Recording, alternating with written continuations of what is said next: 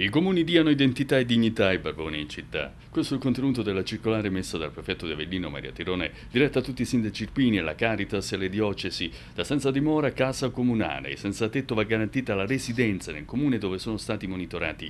Una norma già esistente ma evidentemente mai applicata. L'intervento del prefetto viene a margine della settimana mondiale della povertà a circa un anno dalla morte di Angelo Lanzaro nel gelo del Mercatone. È cambiato qualcosa, visto che è trascorso un anno? È cambiato perché mh, il nuovo prefetto ha, ha posto un'attenzione su questa emergenza del freddo. Ha fatto già un paio di tavoli, eh, c'era la Caritas, c'è il comune di Avellino. Il prefetto ha chiesto di porre una, al breve quello che è un progetto di accoglienza. Chiaramente si è reso conto, insomma, noi abbiamo detto che la Caritas è disponibile però se il dormitorio è pieno come si fa? Allora bisogna ricercare altri posti.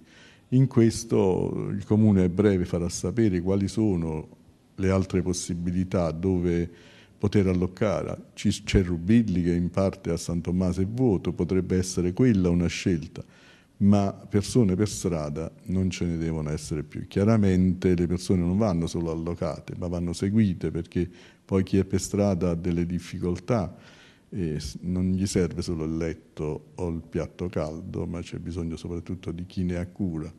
Si è parlato anche della residenza, perché i barboni hanno diritto a una residenza e quindi il prefetto ha mandato una circolare a tutti i sindaci in cui ha detto nel caso nel vostro comune c'è la presenza di un barbone, la residenza è presso il comune, perché comunque gli va data un'identità a questa persona.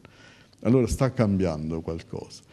Chiaramente adesso ci si mette al lavoro per far sì che il prossimo inverno nessuno resti per strada, nessuno resti confinato in chissà quale scantinato. Noi cercheremo di fare la nostra parte, pensando anche a un'unità mobile che giri. Vediamo, però chiaramente noi abbiamo il volontariato che è impegnato.